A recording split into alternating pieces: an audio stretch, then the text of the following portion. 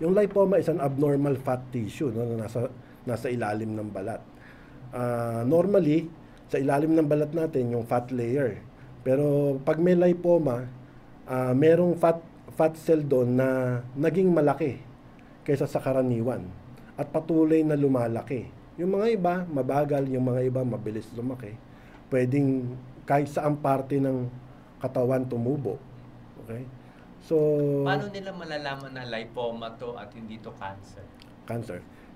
Ang lipoma is a benign a benign condition, hindi siya cancer, hindi siya rin nagiging cancer, no. Ah, usually ang lipoma malambot siya, balat, oo, malambot. malambot, ah, slightly movable, no. Pero kailangan ng isang doktor para ma-distinguish ito eh. Para sabihin na lipoma, lipoma ba yan? O cyst ba yan na nanggaling sa oil glands, yung tinatawag na sebaceous cyst? No, mag, magkaibang kondisyon, pero parehong nasa balat. Okay, meron so ding... pag lipoma, hindi magiging cancer. 99% hindi magiging cancer yon.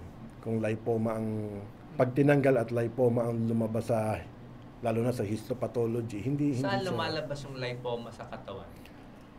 halos lahat ah, Doc Willie eh. Ha- Basta sa mga loose area no, marami sa sa arms no, sa sa leeg, sa likod. Ah, basta kung saan maraming concentration ng taba. Anong cause niya? Na, na bangga? Hindi. Hindi, wala eh, walang walang walang established na cause. So Okay? kailan inooperahan ng lipoma? Kailan hinahayaan lang? Sinasabi ko sa mga pasyenteng nakikita ko, no, kung maliit lang siya at hindi naman nakakaabala sa kanila sa trabaho. o- Kasi yung mga iba, nandito sa area na kung saan ka sa kamay nagsusulat. Yun, nakakaabala yon Or yung napakapangit ang itsura na hindi mai, mai-hide. No?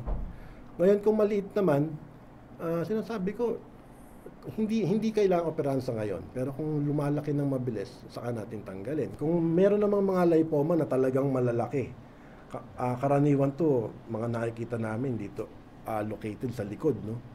Akala mo, meron siyang, ano eh, ah, deformity, back deformity, no?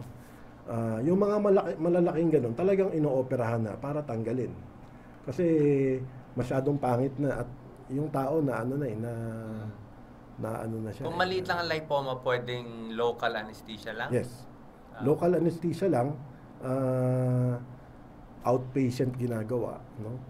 Ah, yung mga iba, kung merong mga ilang lipoma, pwedeng pagsabayin kung lahat maliliit. Okay?